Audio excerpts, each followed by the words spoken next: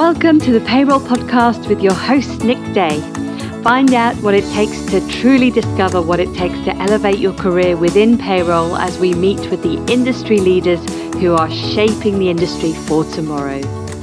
Hello, welcome back to Payroll Question Time. You've had a summer off, we've got loads to get through, and of course, National Payroll Week celebrations coming to a close. Just to let everybody know, National Payroll Week was established in the UK by the CIPP and it started back in 1998 and it was to celebrate the payroll profession. Just to give you an overview, I should have maybe just made that clear. That is, I mean, it's been going from 1998 by the professional body to encourage its members and anybody who has part of a payroll job to be involved and to realize it is an important career and a job that you do every day of the week. Thanks, Absolutely Nick. I was going to say it's been right. obviously recognised by the government as well this week, Nick, because so many announcements have come out. Indeed. Well, we'll get to those. Let's get into the nitty gritty then. Before we get into the latest announcements, let's see what's changed over the summer. First question already. So thank you for those watching this. Please keep the questions coming. Comes in for Jackie Thompson. It said there's a random question on new starter checklists. So does the panel agree it is more confusing than ever on the student loan questions? Do you, and do you think HMRC will change the form again in April? So I'll, that, I'll start with that question, and we'll jump into uh, some of these subject matter. Simon, you're laughing. I'll come to you for that uh, many years ago, I turned up for a meeting in uh, 100 Parliament Street, and they uh, explained to us that it was really complicated and very expensive to change this new starter checklist. And so I actually knocked one up in the corner of a room on my PC and posted it to them uh, via email. Uh, and said, You don't need to now, do you? Here's one. It did actually change at that point. No, the double questions on the student loan on the starter checklist are because it's a double negative question. So, in effect, you're asked to say something doesn't apply and then not answer, and how do you complete? I don't think there is an intention that the government will change it to be honest. I think HMRC are happy with their design as it is, but I agree it is very confusing. But it is better. I would argue it is better than the one we had before. I mean, uh, what I would like to add there um, is what what still remains confusing with the starter checklist is whilst there are certain elements of gov.uk guidance make clear that it isn't the P46, which would, you know, the tax code side of it, those those declarations relating to the tax code, you know, formally referred to the P46. And so there are elements of guidance that makes clear that this is not the P46. What is not always clear in the guidance across gov.uk is how important the starter checklist is, regardless as to whether or not you have a P45. Um, and I think that sometimes that message can be extremely confusing the guidance is still almost written as if, well, if you haven't got a P45, use a starter checklist. But actually, um, you know, just touching on the student loan issue, there, there's quite a number of reasons why you would need both in all instances. So it, I, I, think that would be my issue with the starter checklist. And I would agree with Simon, whilst it's not perfect, it's getting better. So, you know, we can, we can only hope that it will be perfect by the time the P45 is abolished. Uh, I actually did send them through a design which had one question in relation to student loans, which was satisfied it, but they decided to split it into two. You know, it's sort of fella. Yeah. Quite often you'll be told that they need to have some special designers in. I will just knock these things up in the corner on a PC and send them to them. So they did take okay. on a board a number of it. But the reality here on the starter checklist and the point that Sam's made is lots of employers think you don't have to do anything mm. and so place their employees on 0T1. They should not be doing that you need to get the starter checklist. It's actually treated by HMRC as an error situation in their statistical returns. They believe the employer is not fulfilling their duties. Great. Well, good point to, to finish on there. So let's talk about what's happened over the summer. We're going to start with national minimum wage. Uh, there have been some absurd excuses for not paying it as well. I know Samantha's got some great examples of that. So I'm going to pass this over to you, Samantha, to tell us a little bit about some of those. I don't know. I, there's been so many things that have happened over the summer, but I, I'm sure I am not alone in being open mouthed at some of the reasons listed, absurd reasons listed for not paying national minimum wage. Because we always think about the, you know, the, the people being named in shame for technical errors, but she does not deserve the national minimum wage because she only makes teas and sweeps the floor. I mean, how shocking is that? How can anyone even admit to that? I thought it was okay to pay young workers below the national minimum wage as they're not British and therefore do not have the right to be paid it. Jon will know this. How many laws are you actually admitting to breaking by, by yeah. saying that? Uh, my workers are often just on standby. Now, this is a common error when there are no customers in the shop. But I only pay them for when they're actually serving someone. I mean, this is, touches on like sort of common errors, but my goodness, that's just shocking. Uh, and my employees still learning they're not entitled to the national minimum wage. That's my culture. You don't pay young workers for the first three months until they've proved themselves. Wrong, wow. wrong, wrong, wrong, wrong, wrong. Wow. And there are more. Uh, there are more. And you know, and I think actually publishing this list is a helpful reminder that it isn't always technical errors. There are sometimes, many times, intentional decisions made not to pay the national minimum wage and national living wage, which is why you know we you know we continually talk about it. And so HMRC. You can of course see the published list of uh, some big names in there. There's some big names in the published list. That, let's go to Lou for HMRC. Go on.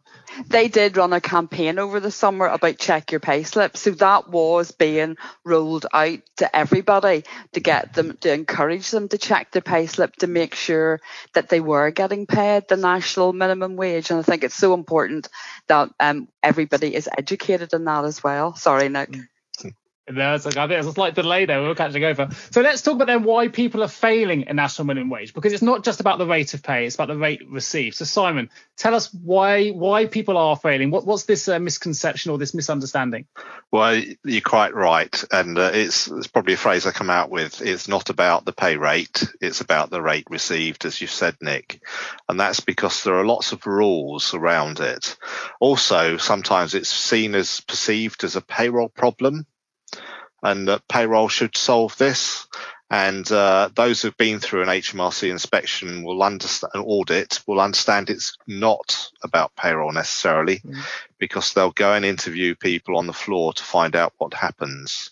So there's element as a business, you may think you want to be compliant with national minimum wage. That's all uh, what we want to do. Yet you'll set uh, expense targets for a branch, and uh, branch managers thinking, how do I get my expenses down, but I've still got the work to be done? I'll get everyone to come in half an hour early and we won't pay them.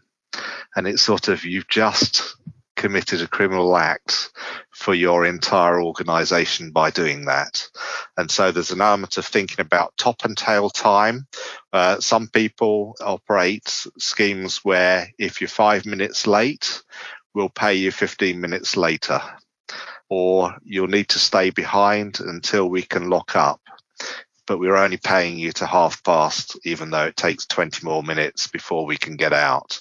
There's all sorts of things. Uniform is another. So you must wear a black top and black shoes. Uh, HMRC will treat that as a business expense, which reduces national minimum wage or the inadvertent types of areas that have tended to come up is um, well we're offering a discount for purchasing our own goods from our own staff any deduction from pay which is a payment to the employer reduces national minimum wage pay another misconception is overtime and that is the overtime premium doesn't count and also leave uh, statutory maternity pay, sickness, holiday don't really count for national minimum wage purposes. So that's where it gets into the really confusing area of where most people start to fail, and that's on the application of salary sacrifice arrangements, taking pay cuts for pensions. And you think, well, this is all for the benefit of the employee, but unfortunately, the regulations don't support that. And so um, we actually end up committing a criminal activity. Am I all right saying it's a criminal activity, Jon? Because I think it is a criminal activity. It's not a civil uh, law breach. Yes, that, that's right. But, I've, got, I've, got, the same sort of experience as, as you, Simon, in terms of the, the common issues that, that we get. And uniforms is, is a big one, particularly dress codes. And um, what employers sometimes don't realise is that there's no limit within the national minimum wage regulations, uh, which, uh, if anyone's uh, you know, looking for something to, to you know, confuse them by reading through, then read the regulations. It's best approached with a, a wet towel on your head and a gin and tonic in your hand. Um, but what it means is, if, for example, you've got a dress code that someone has to wear black trousers, there's nothing to prevent them going and uh, buying some from Emporio Armani at 110 pounds and, and claiming them back. So if you have got a dress code, then you may want to direct them to, to a particular store to buy some particular clothes. So uniforms are a big issue. Again, same as you, Simon. It's those issues around shift handovers, uh, where people stay behind for an extra 10 minutes because they have to hand over to the next person on the shift. Uh, and searching, of course, has been a, a big issue uh, when people clock off and they're searched when leaving a, a particular site. We, have seen some which are, you know, unusual and unintentional. So, for example, when the clocks change, uh, and people sometimes work an extra hour on shift, when the clocks change, they're not paid for that hour. So we've seen that. But one of the issues where we see uh, a lot of potential failures in respect of salaried hours, because if people are, are working salaried hours, uh, then HMRC's view is that the overall hours need to be ascertained from the contract. But of course, if you have weekly hours, say 42 hours per week, HMRC sometimes we've seen take the view that the basic hours can't be ascertained because there are more than 52 weeks in any given year. So it, it's an area where, where, angels fear to tread in, in certain respects with national minimum wage. Uh, and you're right, Sam, there are people who deliberately don't pay national minimum wage. Uh, but in my experience, most of the breaches are inadvertent. Uh, and for most of the time, you know, people just don't realise that they are in breach of, of national minimum wage. Actually, I, can, I, can I just add then, Nick, um, that I think next year's uh, campaign to check your payslip, uh, amongst other things, will have. Uh, well, I followed Jon Keeble's advice. I was reading the regulations whilst drinking gin. yes, well, well, I, I, I, was surprised that you, you cut and paste my advice for the absurd excuses, actually, Dan. But... well, hopefully, we haven't lost too many attendees while they, they can listen. Of course, you can go into listen only mode if you're currently shopping on Emporio Armani for some new trousers at the same time. No one will ever know. While we're doing that, there have, of course, been a new health and social care levy as well. The government this week announced the introduction of the new levy to help pay for the NHS and social care reforms. Before we get into this full discussion, we've had a couple of questions in as well. I'm going to jump to you, um, Simon, if I can, for this quick question that's come in, which says, What about private fuel deductions for company cars? Car drivers. Um, we deduct for the private mileage for the cost of fuel on the fuel card, so it doesn't need to be a P11D item. Yeah, I think it's an element of considering what that means. Would that be treated as a deduction for the benefit of the employer? I think you're deducting that from a benefit item amount, so has a reduction. It's an interesting point. I might have to think about it, and maybe that's one of the types of things we'll come back to in the question and answers we publish after. There's an element of what's the payment for and who's it going to. But uh, yeah, any thoughts there, Sam? Actually, I'll see what you thought. Hmm. I, I'm like you, Simon. I would need to to go back and double check to make sure my understanding would be right. I, one thing that it highlights, I think, is the difference of treatment depending on whether or not we're looking at something from a an income tax reporting for benefits in kind and benefits code or pay as you earn basis, as opposed to for national minimum wage purposes. And quite often there's a diversion between what guidance will say for the benefits code and treatment of, of a payment, almost suggesting that it's perfectly acceptable to have that payment, but it's actually that guidance is only talking about how you would treat that amount for tax purposes or NIC purposes. And then, of course, you've got the guidance that talks about talks to national minimum wage. And I, I must confess, I've never seen that used as an example of something that would reduce national minimum wage yeah. amounts but that's yeah. not to say I would need to double check that, uh, and we can put that in the answers that go out if that's if that's okay, Nick. For sure. We, we do like the questions that baffle the panel, so do keep them yeah. coming. Do. It gives us keep them on their toes. I think it's incredibly important that we do that. I don't know if the poll results have come in um, yet, but while we're waiting for those, Simon, I think we're going to add, add a point to the end of that. We. Well, yeah. I mean, my gut instinct is it does reduce the pay for national minimum wage purposes. That's that, but that's a gut instinct. But the only thing is because uh, companies operate in two different ways. Sometimes for private fuel card, they'll have what they call a contribution amount, which is just fixed, so it doesn't actually get rid of the P11D value at all. Uh, but they're just allowing contribution for private but it does reduce quite often the benefit value of the vehicle that's used for private use. So there's ways of playing the values to have effects on taxation. But it is a payment to the employer. So on that basis, my gut instinct is it probably does reduce it. But we'll look at it a little bit more. It's an interesting one.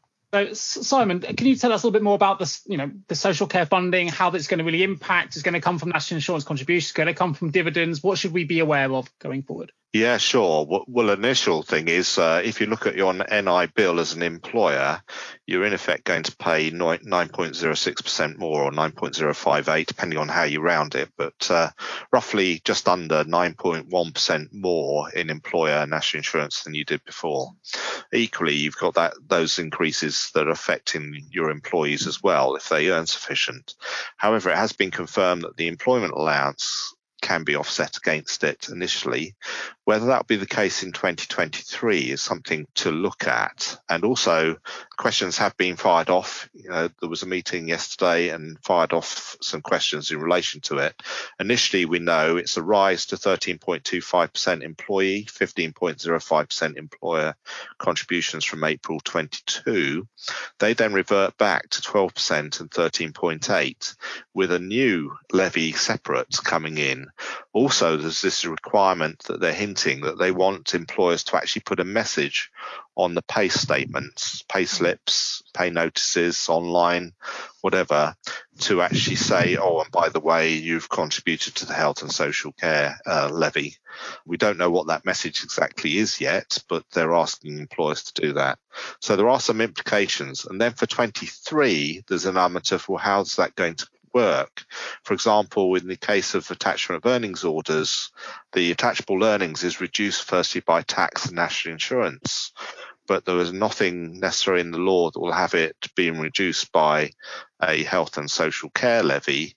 So for 22 23, you think yes, it's all included because national insurance is knocked off.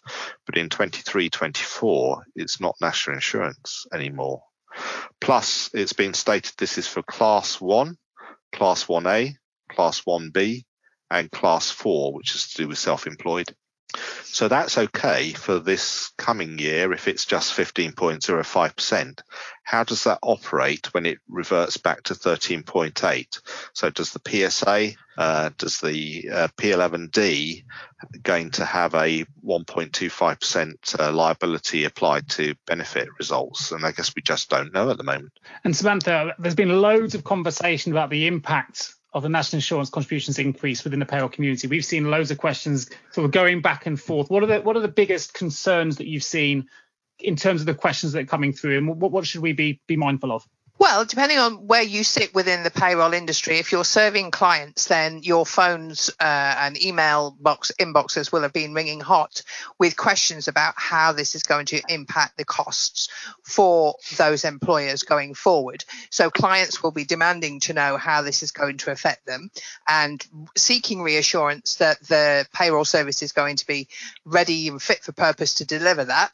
Uh, in the meantime, the payroll professionals working within uh, payroll services are waiting to receive that confirmation from software developers. And as Simon's just demonstrated, meetings are being held, questions are being asked. But that doesn't mean to say that the questions are being answered with any accuracy from another perspective, I confess I was quite pleased. Well, it's wrong to say I was quite pleased to see it published, but uh, one of the joys of going back to training work with colleagues is when we're doing the refresher training on national insurance contributions and the pay as you earn system kind of emphasized so much over this last year how the social security and national insurance contributions specifically are used by government to drive behavior from employers but also to fulfill their policies. Um, and that's happened over a number of years. And this is a really good example to all of my colleagues who are new to payroll um, of yet another situation.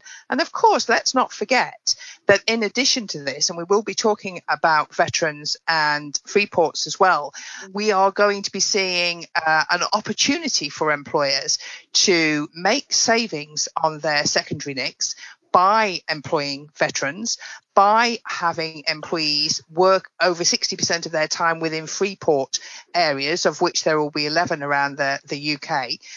And of course, not forgetting the the younger employees under 21 or apprentices under 25 there's an opportunity there for employers to be making savings already on their secondary NICs so um, we might start to see a move by employers to thinking about actually could we make better use of young people within our workforce? Could we support apprenticeships within our business? Because if to do so is going to save us money I'm intrigued about this message on the pay slip. I won't lie to you. I, you know, I'd like to think that if it is going to be a requirement from government, that software developers will be able to build that in to their products to take away the burden of, uh, particularly when you uh, payroll service with with thousands of clients, actually having to add that message into your pay slips on a per employer basis. So there's concerns there. I mean, I'll be honest, if if we were able to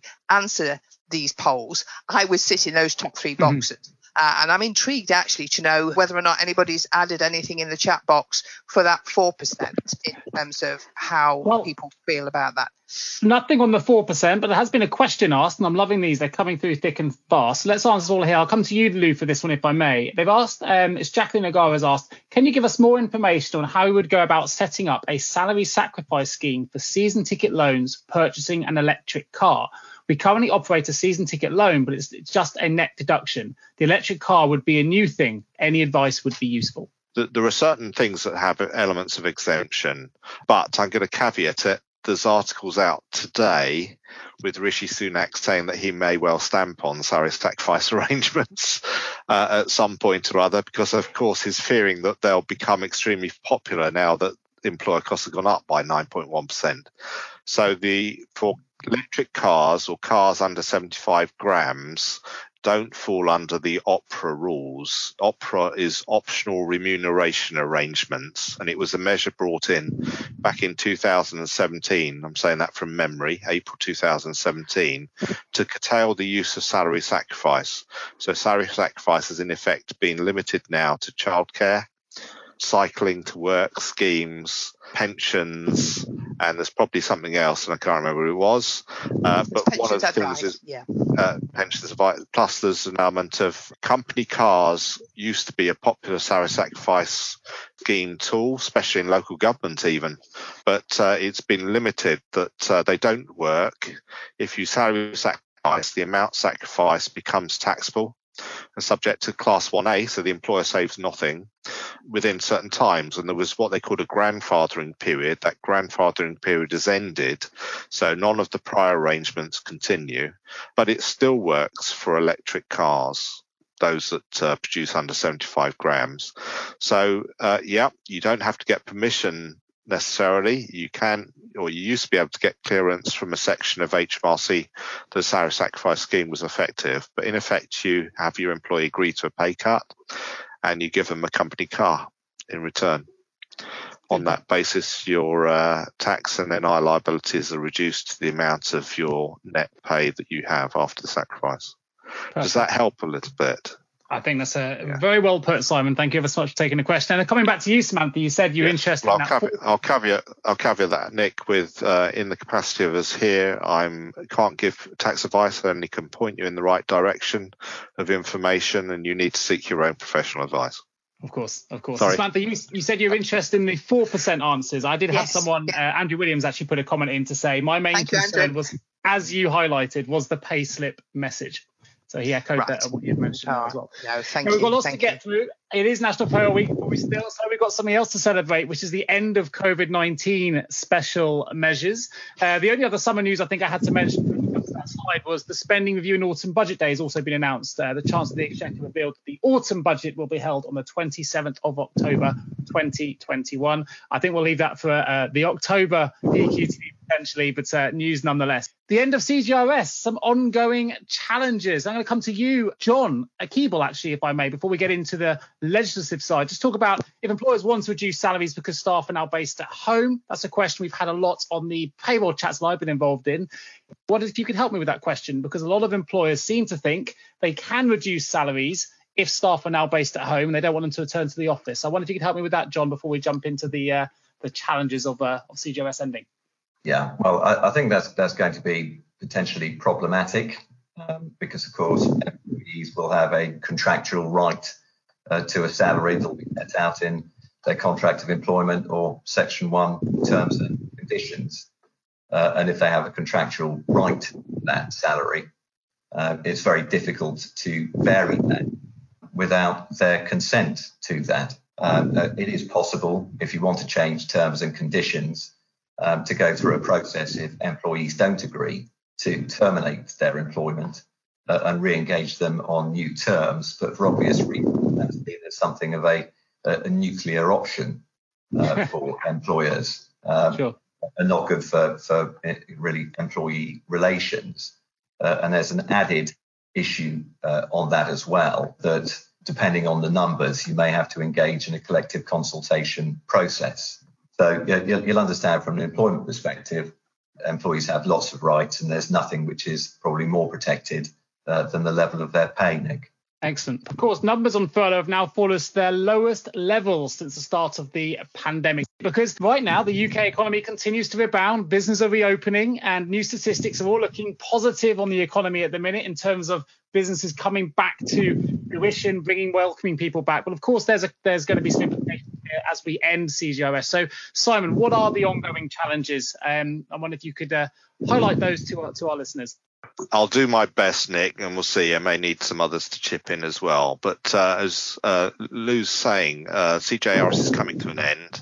Um, lots of employers will have been sent letters uh, indicating that you need to check claims, and uh, there's still a lot on social media that we see in discussions where there's a lot of misunderstanding. But it's sort of everything's winding down now with CJRS. Let's get back to normality. Uh, sickness was announced as well, so uh, COVID SSP sickness is there but uh, lots of confusion over pay rises. Does that affect uh, reference pay, usual hours, etc.? Anyone else want to help me out on this one? I think there's some news on flexible SSP, wasn't there, Samantha? Flexible.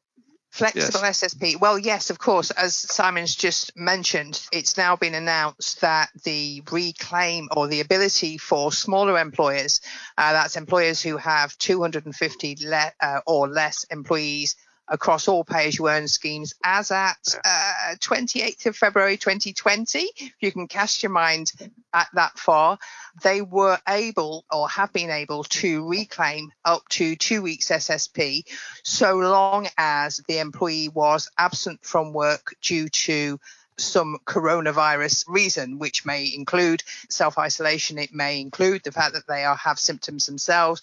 It may include the fact that they live with someone who has symptoms. It may include the fact that they've received a shielding letter um, advising them to shield during that period.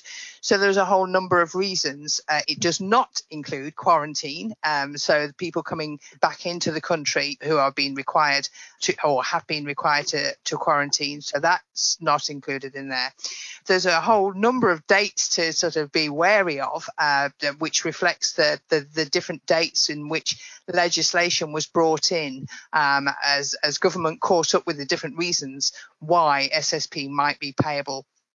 So, uh, as I say, they could reclaim up to two weeks for their employees, and that ends as at the 30th of September. So that's for absences for COVID or coronavirus reasons up to and including the 30th of September. And employers then have up to uh, 31st of December in order to reclaim those amounts or make any corrections if they discover they've made errors. And then that they need to keep their records uh, because, of course, state aid, de minimis state aid, comes into this because of the restriction to smaller employers only, um, i.e., that 250 employees uh, across all pay as you earn schemes. That means that this classes as state aid. And so the employer would need to keep the state aid declaration protection, which would come when they reclaim their amounts. They would need to keep that statement for uh, three years to 31st of December 2024. But to pick up on what Lou said about the audit process, and you know that that follows the poll that we kept, employers are required to keep their records of their claims for up to six years, and this shows how I mean the the message all along has been that HMRC won't look to punish harshly innocent errors. Um, however, that long period of time for record keeping reflects the seriousness by which they see any errors. And then, of course, you know, let's not forget there's also employers who have, the larger employers particularly, have decided actually, with the benefit of hindsight, their business wasn't as unduly affected by COVID as they thought it would be. So actually they've repaid the amounts. So there's there's almost a question there whether or not morally certain businesses who haven't been unduly affected by COVID. Their business, you know, actually might have blossomed during that period of time, and there may be many good reasons for that. They may actually consider repaying those amounts. Not that there's any reason why they should do, but nevertheless, um, you know, that's uh, an area that is being considered by certain businesses. When it comes to Jon Keeble, for returning to the, workpla- uh, the workplace, the implications, double jab for a job. Catchy title, and thanks for that hot potato, Nick. But uh, I suppose just to, to, set some sort of context um, to, to, vaccination, there is some mandatory vaccination. So, for example, for workers in registered care homes from 11th of November, they will have to be uh, vaccinated. Uh, and there's a consultation uh, which is going to be launched as to whether to extend that to workers in the health and social care sectors. Um, but outside that, there is no legislative power which the UK government has uh, for across the board vaccinations. So if they were going to introduce it, it would require primary legislation uh, to do so. So, so the approach at, at, the moment really is one of um, encouragement. And uh, if employers do want people to be vaccinated, uh, that would be the approach that I would probably take uh, rather than mandating it. Uh, and that's for, for a number of reasons. Um, firstly, there are some individuals for whom vaccination might not be suitable. Uh, for example, those who are immunosuppressed, um, those with long COVID, um, uh, are sometimes advised uh, against having the vaccine so they can track the underlying conditions, um, etc. But if you are going to uh, require employees to be vaccinated, um, then I would tread reasonably carefully uh, because in the earlier part of this year, the view of the Equality and Human Rights Commission uh, was a blanket mandatory vaccination policy um, was likely to be unlawful and potentially discriminatory. So it is something that uh, you should think carefully about uh, before you decide to go down the route of mandatory vaccination um, for uh, employees. And uh, I think some of the risks uh, that there are uh, in it relate to uh, discrimination. Uh, so, for example, from a sex discrimination point of view, there are some women who may wish to delay vaccination because uh, they're trying to conceive and there hasn't been testing of the vaccine uh, as against uh, pregnant women. And uh, another way of, of, discrimination would be in terms of philosophical belief, which is a protected characteristic. And so certain employees, for example, may reject the vaccine because embryonic tissue was used to test or develop the vaccine. So there are risks on that front.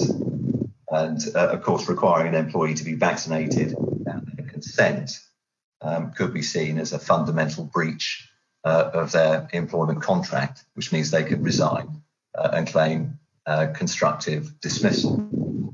So I, I, think I would tread carefully um, on that. I think similar considerations also apply if what you're making is an offer of employment which is conditional on proof of vaccination. Uh, and that also raises data protection issues, um, which need to be carefully addressed uh, about retaining uh, and retaining um, this type of, of information. Uh, and of course, if you go down that route, uh, there may be delays in the recruitment process, uh, and you may not get uh, a suitable pool of, of, candidates, particularly in the current job market, uh, which, as you've identified, Nick, is, is pretty hot. Um, it is at the moment. So I think I would generally generally tread fairly carefully if you're going to go down the route of, of mandatory vaccination. Uh, and you really should take some specific legal advice on it uh, because it's an area where it's, it's clearly fraught with some degree of risk, uh, both for current employees, um, those you're making job offers to, uh, and also if you are considering making it a condition in any job advert. Go slowly and carefully would be my advice. I'm not sure this subject matter will be going away. It's hot in the press for the uh, the Premier League, isn't it? With all the uh, Champions League travel and the Brazil Argentina game. So um, yeah. A lot of conversations there are really going to make it mandatory for Premier League players. So obviously legally at the minute they can't, right? But um, let's see how that unfolds. Uh, I'm going to keep it with you, Jon, for the moment as well, because while we're talking about the end of CJRS, um, the coronavirus uh, right to work checks, the end date for the temporary adjusted checks has been deferred to the 5th of April 2022, as I understand it. Um, wonder yes. if you could tell us a bit more about that. Well, I, I, I, don't have much more to say on that. I understand it's been extended, and I think that relates to the way in which those those checks can be carried out in, in terms of it not being face to face. I think sure. that's the, the, the fundamental change. Fabulous. Well, let's take it to the next slide then. Planning for 2022, 2023, HMRC. How will it uh, affect businesses? I'm going left to right. I'm going to start this one with you, Simon, if I may. Okay, well, the other big announcement for National Payroll Week, because we'll be in the minds of Rishi Sunak, was the date of the budget. So, as opposed to this last year, where the budget was sort of cancelled or delayed and we had it in March for an April delivery, uh, the budget has been announced as the 27th of October. So hopefully we'll have a little bit more planning. I don't know if that affects payroll professionals as much as the software developers side, because it just means uh, we now have three months to squeeze things in instead of three days or, or negative three days as it felt this year, but it uh, it potentially puts us in a position of knowing a little bit more about what's happening, which has been absent for about three years. So this is the first time we'll be looking like we might be getting back to some form of normality. So uh, we know about some things that will start affecting business, and there's an element of whether you plan to take advantage. We talked about some of this before. So health and social care levy is uh, putting on a bit of a rise, 15% uh, national insurance over uh, for employers. Do you want to consider uh, veterans because there's a, the new veterans national insurance holiday, which actually came in this year, but the HMRC couldn't get ready in time for their system. So you have to do a retrospective claim, but will form part of payroll next year. And also the implications for Freeport, although I don't think that will affect many employers. Uh, unless you've got uh, worker, I think I'm saying this from memory. If you've got workers that spend at least 60% of their work time in a Freeport area uh, undertaking work for you, uh, and then it would only apply to those. But uh, there's meant to be an establishment of 11 new Freeports, and businesses associated with that Freeport area can again get a national insurance holiday to a uh, what potentially be a lower upper uh, threshold value than the one we're used to uh, for veterans, students, and apprentices. So, yes, quite a bit happening. Saying that, on tax, we're not expecting any change, are we? Well, apart from Scotland, maybe. Samantha, you mentioned a little bit earlier about the uh, Freeport and veterans uh, NI. Anything you want to add to that? Well, I was just re- refreshing my memory as to the categories because this was announced in the software developer uh, information back at the beginning of August, I think it was. Category V, of course, is being introduced to deal with the veterans' savings.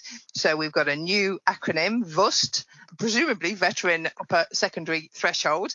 And then, of course, for so where actually where there are other categories that could be impacted, then I think uh, if if I re- understood the guidance correctly, it would be you would need to contact HMRC to be able to make a manual adjustment, which was for the veterans. But with the Freeport mm. employees, we've got four new categories uh, in operation. So we've got F. So again, new acronym, FUST. FUST.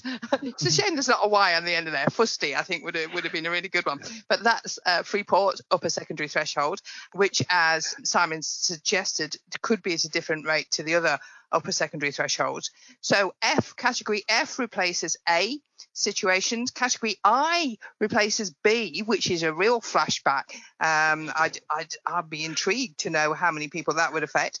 Category S would be the equal or the equivalent to category C, and category L would be the equivalent to category J. So, of course, that's where you've got deferred. Sorry, Nick, I'd you like to throw a bit of technology in there? I mean, Simon, it's recruitment and not payroll, so I'm quite happy. Yeah, uh, well, it's, just, it's all a bit of fizzle, isn't it, really? It is a bit of fizzle, but I think you know we we like the fizzle every now and again, Simon. Yeah. So you know don't, don't, rob me of my joy on that one. Can I just actually talk about the flexible SSP, which was on the other slide? I think the reason we talked about that um, was there was an announcement made earlier, and this might affect anyone who's been keeping sort of a close eye on the consultations that have been carried out over recent years on the idea or the notion of introducing greater flexibility into the statutory sick pay process because at the moment it really doesn't support phased return to work. Um, and I think, you know, where we, we were discussing this earlier, Simon made a very valid point that that flexible SSP, the announcement being made that now is not the right time. How often do governments use that phrase? Now is not the right time to introduce those changes. I would say that now is the perfect time. Um, however, government have got their hands full um, in other areas. Uh, and so, if you've been keeping an eye out for any changes to SSP, they're not going to be happening anytime soon. But we've got still lots to get through, and I know the misconception of the holiday pay slide. When we get there, is going to be a good chattable area. So let's move on then to pay gap reporting. Uh, the gender pay gap uh, was being reported recently by PwC that shrunk for the third consecutive year. The pay gap data for 2021 reporting year showed that the mean pay gap has fallen to 12.5% from 14.3% in the first year of reporting in 2017 2018. Um, but how is the gender pay gap progressing and the October deadline for, for gender reporting? Um, Lou or Simon, would you like to, to kick off? Well, yeah, I think it's just reminding us all that uh, the deadlines that we were forgiven last year, they haven't been forgiven this year. They were just extended. So the April 5th reporting was just relate, uh, changed to October. So have we got that in mind or have we forgotten about it? That's sort of the critical message of here is, uh, you know, how are you doing? Because uh, it's still judged on the same snapshot data point, and you've got to think about uh, coronavirus job retention scheme interfering with that, etc. Um, uh, gender recognition, rights to be whoever you want to be, and implications there. Um, maybe I'm being a bit flippant there, too much, Nick, but there's an element of um, it's time for HR to get their reporting in. Yeah, I would agree. I would agree. And we've got a, a section here on CEO, pay ratios. Um, who would like to take some commentary here?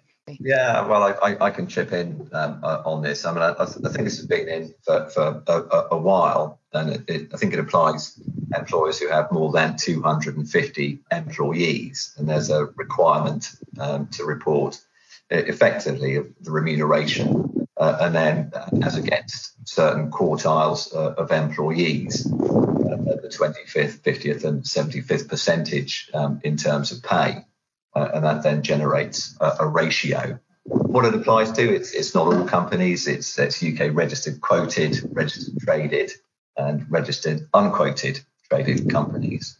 And uh, what it doesn't apply is to AIM um, companies. But same as, as Simon, in terms of of the way in which um, these things are now measured uh, and assessed. Of course, it, it's Simon's right. There have been a whole host of changes during the COVID scenario that may uh, affect things. We've got furloughed employees, deferred bonuses that have been put off for this year, changes to the size of LTIPs uh, and the grant of those, adjusted performance measures, all of these things uh, are going to have a reasonably significant effect, uh, I think, on what the differential um, is going to be for the CEO pay ratio uh, reporting. I know we touched upon ethnicity reporting briefly in previous PQTs, but uh, Simon or Jon, would you like to talk about the ethnicity reporting proposal? Well, yeah, I, I, I can pick that up. It's it's something which is is a, a, a slow burn on this because the consultation I think was launched in 2018 uh, and it closed in January 2019. And as far as I'm aware, the government hasn't formally responded to that consultation. um, although uh, the BBC did get some access to um, information. And uh, I think the end result of the consultation from those who uh, responded to it uh, was over 70% of those who responded um, thought that it was a good idea for employers at the 250 employee mark and above. Um, where there wasn't uh, unanimity, think, in the response to the consultation, uh, is how you are going to cut it um, when looking at um, ethnicity. Uh, and there were mixed views. Um, some were of the view that uh, the split should be, on the one hand, just between white, and on the other hand, BAME, uh, and others had a different view. Uh, and there are going to be some interesting questions about what's going to be cut if this comes in, uh, because one of the statistics, if you look at uh, the way that these things are, are, currently reported, because around 20 plus percent of, of companies report disinformation anyway. Um, for, for example, uh, employees who are Chinese uh, on average earn 30% more than those who are Pakistani. Uh, and that's, that's information that, depending on how you define ethnicity, may be captured or may be lost. Because you just defined ethnicity as Asian, then people would be in one group. So there are some interesting questions for how this is going to actually operate in practice, um, depending on how ethnicity is, is defined uh, within um, any pay reporting proposals. Uh, but at the moment, uh, this is, is somewhat on the back burner. Uh, like everything else, it wasn't covered off in the Queen's speech, uh, the various Taylor report provisions, etc. They just didn't appear. So when this will see the light of day, I think is somewhat up in the air. Fantastic. So we'll, we'll watch this space. So listen, we're going to go to what I know is going to be a, a really informative discussion, which is all about the misconceptions of holiday pay. I guess we're going to update you all really on the categorization of workers, and then we're going to get into the discussion about entitlement and how this is different to holiday pay. But let's start with the categorization piece and come to you for this, Samantha, if I can. Talk to us a little bit about the misconceptions of holiday pay in relation to the categorization of workers. Well, yes, I think that you've put it in a nutshell there. The term is workers as opposed to employees. So all workers are entitled to holiday pay uh, or have uh, entitlement to holiday leave. Um, and that would include employees, because all employees are workers, but not all workers are employees, agency workers, zero hours workers, anyone really. And I think uh, uh, Jon will probably know more about this than me but I think there have been some recent cases on uh, the gig economy that have settled the fact that these are workers and therefore entitled to holiday leave, even though they may be self employed for tax mm. purposes. Uh, and Jon might be able to add some more there. And I think that, you know, this can be a common misconception or a common area where problems can arise. Um, I think the reason we like to talk about holiday pay is because of the potential for the single enforcement body that is being introduced to take on state enforcement of holiday pay for vulnerable workers. Um, there, I don't think there's any dates that are imminent, but um, that's why it, it makes for a very interesting subject for us to talk about. Excellent, fantastic. Now, of course, a lot of misconceptions around entitlement, which is different to holiday pay. So, Simon, tell us a little bit about why there are misconceptions between the two. Yeah, sure, Nick. And you know me, I like to uh, rattle the stick inside the wasp's nest at times. Mm-hmm. Uh, there's an element of on the 60%, there may be an element of, are you sure? Uh, because increasingly I'm not sure that actually, so people may think they're compliant with the law, but do they actually understand the regulation? So there are two areas that people get wrong and you often see it. We see it all the time in social media, employment law, and payroll. Is uh, of course zero hours workers aren't entitled to holiday; they're entitled to 5.6 paid weeks. And there's an element of almost all category of worker uh, is entitled to 5.6 weeks holiday, and it's prorated on a basis. And uh, and then of course, what does that mean and where do bank holidays fall? So the types of areas where there's misconception is understanding what bank holidays are. I mean, recent questions I've seen is, well, we pay the 20 days and uh, and it says in the contract plus bank holidays, but bank holidays don't have to be paid, so we don't pay it. And there's an element of if the contract says 20 days plus bank holidays, it means that you do pay it. So not paying it means you're in breach of your contract already.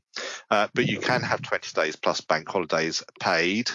And it's a question of that means you have to pay it for everyone, then, doesn't it? Even if they don't normally work a Monday. So be very careful with what you're saying in your contracts of employment. The other is aspect of everybody does accrual. Within the law, accrual only applies to the first year of employment. It doesn't apply any other the year. So you may be wanting to control entitlement usage uh, so that people don't get too far ahead, but they don't actually accrue apart from the first year under the law. So there's an understanding of what the regulations are, and it falls into two parts. One is entitlement, and the other is on payment. So entitlement generally is 5.6 weeks paid weeks uh, entitlement. What is a week?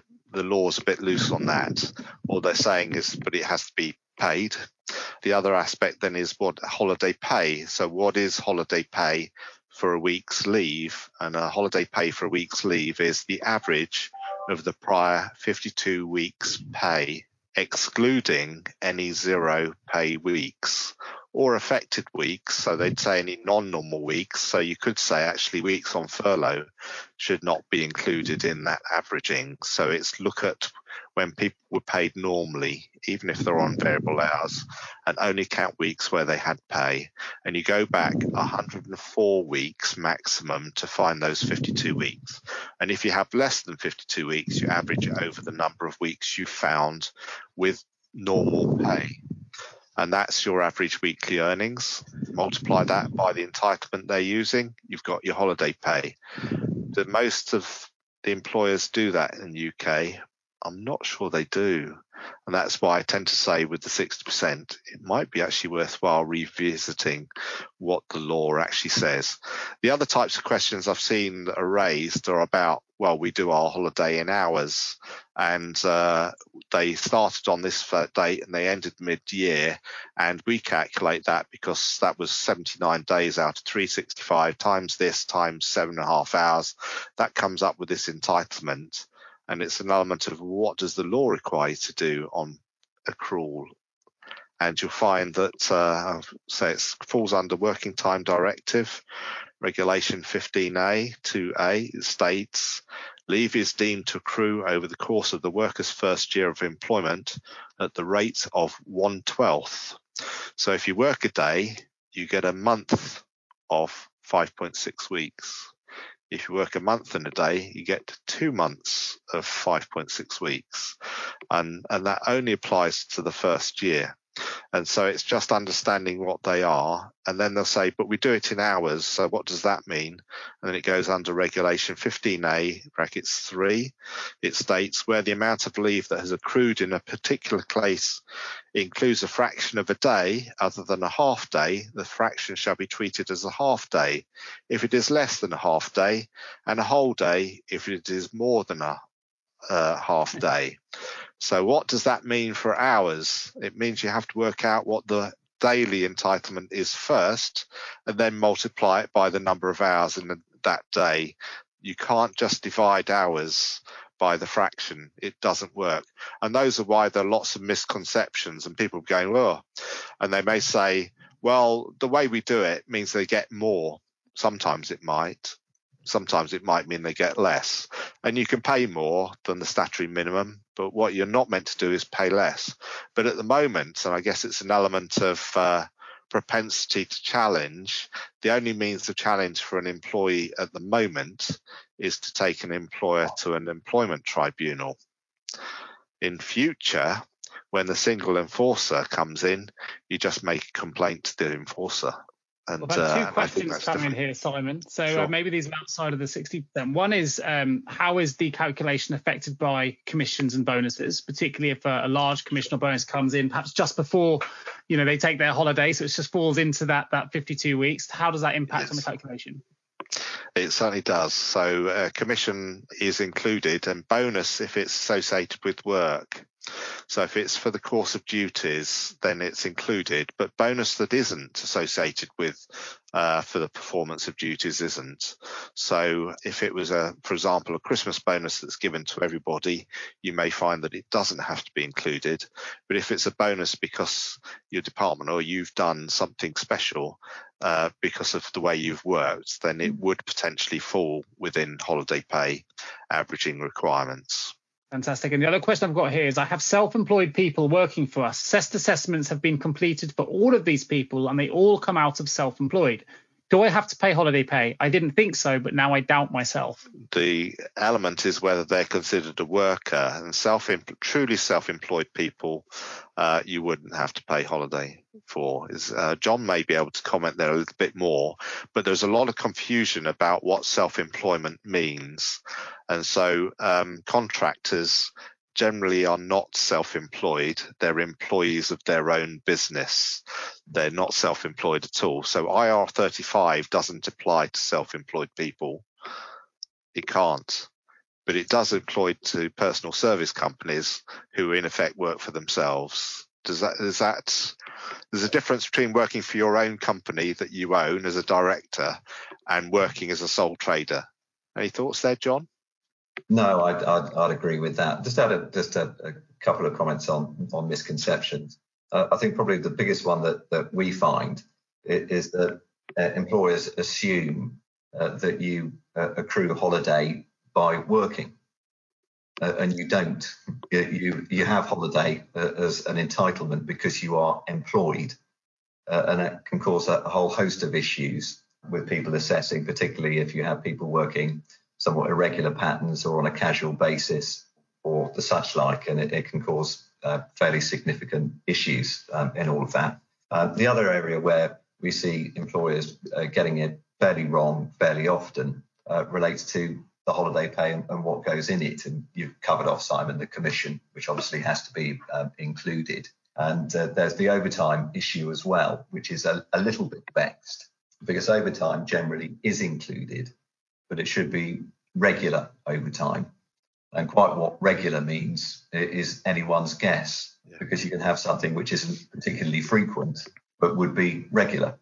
So uh, there are all sorts of tricky issues, and there are still a, a significant cohort of, of, employers who just don't pay uh, for any of these matters in terms of holiday pay, of the overtime, the commission, you know, productivity bonuses, um, all these elements which are intrinsically linked to the performance of tasks.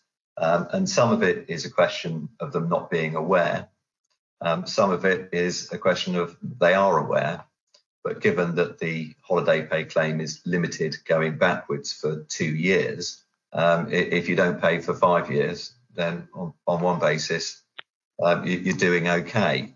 But, but I suspect there's going to be a whole host of employers who are are busy revisiting what they're going to be doing with the spectre of, of single enforcement coming down the track. Yeah, nice, nicely highlighted. Well, there's another question that's just come in as well. So uh, it's great to see uh, such interaction here. So do keep them coming if there's something uh, burning question you want to go off your chest. We've still got a few minutes left to go before we close this off. So should leavers receiving a PILON receive an element of holiday pay for the notice we are paying out? No. So the holiday payment is to the termination date the PILON doesn't extend the termination date because you're paying it instead of giving them working or giving them notice. Is that? I think that's where we're coming from, isn't it, Jon? Yes. Clearly, if someone works out their notice, they'll still be employed, still be accruing holiday. But the, essence of a payment in lieu of notice is that your employment will terminate uh, at that point, uh, and therefore there is no uh, you know, entitlement to, to holiday pay on the PILON because it's not a period of work. And any implica- implications mentioned here for national minimum wage? Yeah, I think the reason that's there is uh, one of the most frequent questions uh, we're asked on NMW enforcement is uh, the inclusion of holiday pay.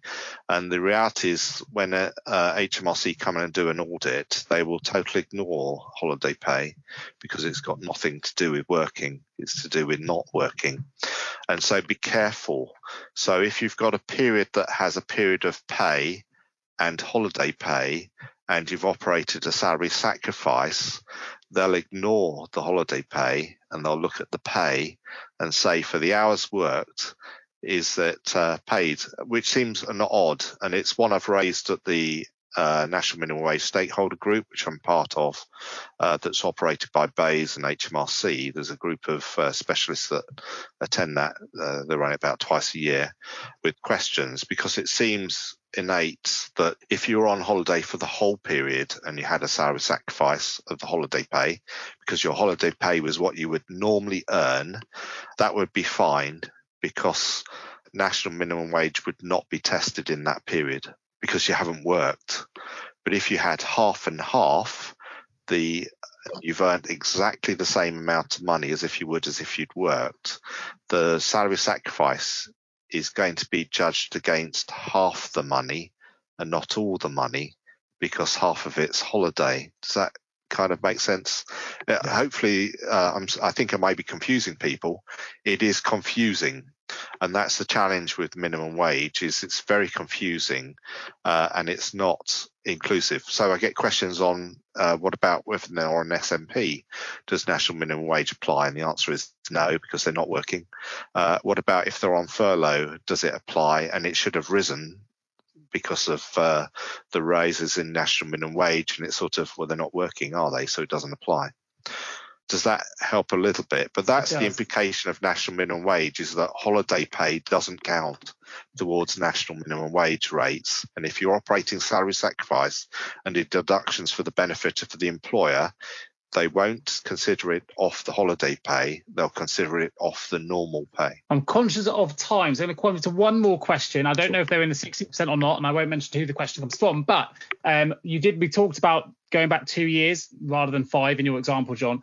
What are the implications if employers do not include bonus and commission payments to holiday pay calculations? Well, if, if you if you don't include it, there can be a, a claim which is brought by a, an employee in respect of, of those amounts generally in an employment tribunal, all claims would need to be brought within three months uh, of the termination of employment, although that's slightly extended because you've got an ACAS process that you have to go through first before you can submit your claim. And if a claim is put in, then a tribunal will determine it. But uh, to say the backstop is that they will only go back and, and look at the, the previous two year period um, in assessing the value of the, the holiday pay claim sorry, it's an, it's an element of understanding what the single enforcer will do. And I guess we don't necessarily know. But uh, as Jon's saying, uh, if, if I feel I'm underpaid, I can take my employer to an employment tribunal. Uh, if my friend is underpaid, my case has got nothing to do with them. Uh, the court won't look at him, even though he may be being underpaid as well. But when the single enforcer comes in, uh, they may actually find that I've been paid okay but my friends they may find hasn't. Will they enforce the payment? And that's how it operates with national minimum wage. So people report a problem with national minimum wage. They don't just look at that one case. They look at everyone. I'm with you simon. I'm, I'm anticipating that, that it's largely going to operate on the same basis and in the same way. We're going to jump to hot topics. We've got a couple of minutes just to run through some of these. I'm going to run through the first one. The Republic of Ireland has a new sick leave pay regulations. It currently does not have a mandatory sick pay scheme, and the decision as to whether employees receive pay during periods of sick leave is a matter for each individual employer. So this is very much uh, reliant just uh, to the Republic of Ireland employees if you have a Republic of Ireland payroll, because this is about to change. Soon employers will be required to provide statutory sick pay to employees under proposed draft legislation uh, called the Sick Bill Leave uh, 2021 or the 2021 bill. So look out for more information regarding that, particularly if you have a Republic of Ireland payroll. Um, we've kind of covered IR35 in, in a lot of detail over the previous ones. Uh, any uh, additional sound bites, Jon, to mention here? I'd say just in terms of a couple of trends that, that we're seeing, uh, we are seeing a significant number of employers uh, who are moving away from contractors because they just don't want to engage with an IR35 assessment at all. Uh, and for those which are carrying out assessments, if the assessment is inside IR35, um, they're shunting them off to, to umbrella companies or, or agencies um, rather than going through a direct engagement. And we've got an umbrellas point here on Hot Topics. Uh, over to you, Simon, to talk about this. Okay. 20 seconds.